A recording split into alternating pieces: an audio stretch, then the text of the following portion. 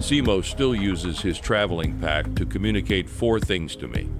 One, let's go do something. Two, I'm too tired to do anything, even enjoyable outdoor activities. Three, let's go home.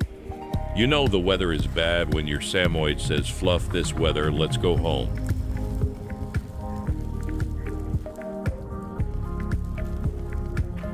Four, this situation is scary.